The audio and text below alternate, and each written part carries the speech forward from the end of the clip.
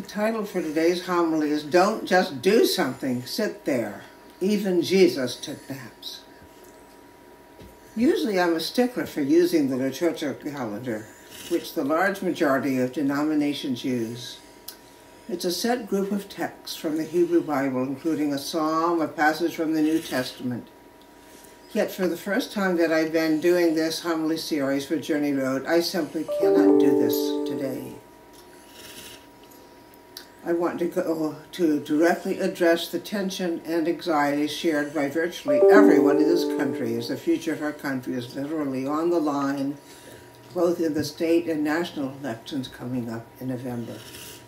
Every day I'm flooded with pleas for money, some begging, some pleading, some trying to guilt me into contributing.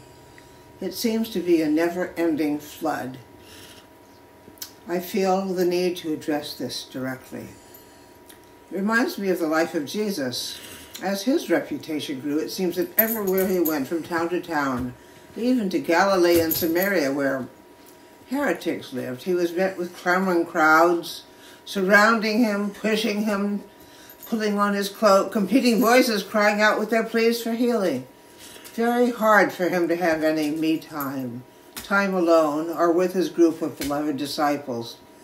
So he did something daring something many of us, especially clergy, are afraid to do. Took off literally to the hills. And now uh, I'm going to read the ways that this has happened. In Mark 1, at once the Spirit said 40 days being tempted by Satan. Another one from Mark. Very early in the morning, while it was still dark, Jesus got up, left the house, and went off to a solitary place where he prayed. Everyone was looking for Jesus, but after his time in prayer, he told his disciples that it was time for them to move on to another village. In Luke, the news of him spread all the more, so that the crowds of people came to hear him and to be healed of their sicknesses. But Jesus often withdrew to lonely places and prayed. Again in Luke, Jesus went out to the mountainside to pray and spent until night praying to God. When morning came, he called his disciples to him. In Mark, again in chapter 6, because so many people were coming and going, that he did not even have a chance to eat, he said to his disciples, Come with me by yourselves to a quiet place and get some rest. So they went away by themselves in a boat to a solitary place. I could go on and on, but you get the point. Even Jesus needed to rest. Sometimes he even took naps, as my favorite t-shirt proclaims, as a reminder to me as the demands on my life, some from the outside, some even from me, need to take a back seat to rest. This, every day, I take a break after lunch when I walk into the bedroom with my two cuddle cats, Bart and Priscilla. As I lie on my left side, Priscilla lies down on my arms, scrunches down and places her head right under mine, and Bart finds his accustomed place with his back curled up against my legs. And the next two hours, or hours, mostly I don't fall asleep, but fall into meditation, with Priscilla's breath mingling with my own, her whiskers tickling my nose, and Bart's pressure against my legs keeping them warm. But as more and more demands pile on, it still seems easy to forget. For instance, Cheryl and I years ago started a Sunday practice to have a meal together at our dining room table, candles lit on this holy day once a week. It lasted for a while, but finally we gave up, settling for each of us, usually preparing our own separate dinner and sitting in our own chairs with TV trays, watching TV as we ate.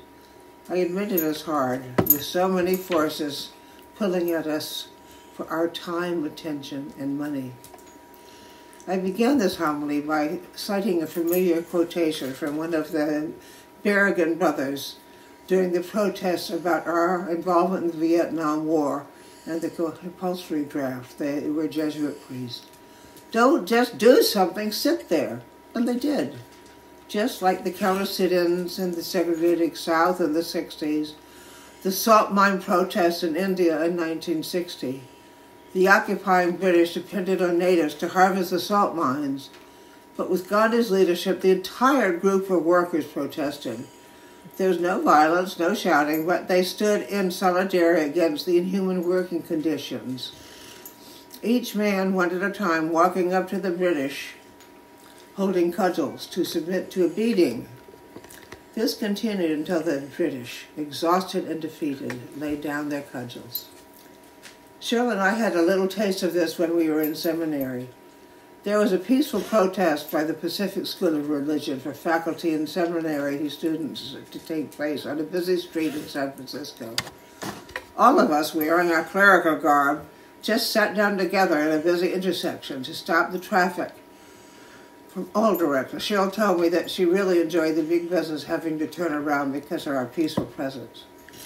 At the appointed time, when the police showed up, those who had already agreed to be arrested just got up and filed peacefully onto the waiting buses. Inner life is just as important as outward activity. Everyone needs that still space in the turning world, even Jesus.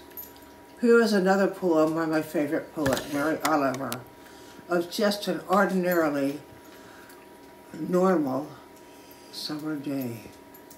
It's called A Summer Day. Who made the world? Who made the swan and the black bear? Who made the grasshopper? This grasshopper, I mean. The one who has flung herself out of the grass, the one who is eating sugar out of my hand, who is moving her jaws back and forth instead of up and down, who's gazing around with her enormous, complicated eyes. Now she lifts up her pale forearms thoroughly, washes her face, now she snaps her wings open and floats away.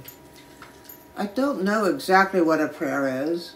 I do know how to pay attention, how to fall down into the grass, how to kneel in the grass, how to be idle and blessed, how to stroll through the fields, which is what I have been doing all day. Tell me, what else should I have done? Doesn't everything die at last and too soon? Tell me, what is your plan to do with your one wild and precious life? I believe that we are all called to live a wild and precious life. Sometimes it takes a vocal protest, a peaceful sit-in, even a moment in an ordinary day to look closely at the miracle of a grasshopper. Listen again to these prophetic words. I don't know exactly what a prayer is, I don't know how to pay attention. I do know how to pay attention, how to fall down into the grass, how to kneel in the grass, how to be idle and blessed, how to stroll through the fields, which is what I have been doing all day. I did something similar last week when I went outside the front door. To the left was a spider web that the spider was still weaving. The sun was shining on the web as the little spider kept excreting the filament and pulling it across the empty space. Then when it was attached, reached out a tiny arm just to pull the new thread more tightly to make a perfectly symmetrical web. I was stunned. This little spider, so small when it was newly hatched, had inside of her all the wisdom she needed to create this miracle. It was hard to take my eyes off this happening. I looked to see if there's any other miracle in the making every morning. Please indulge me by watching this spider spinning her web. Breathe in and out as you watch this miracle.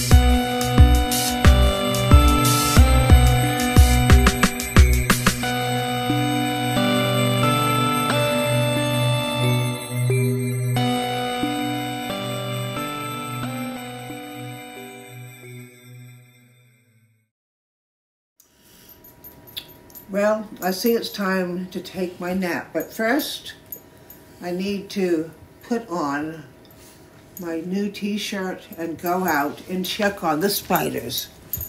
All right.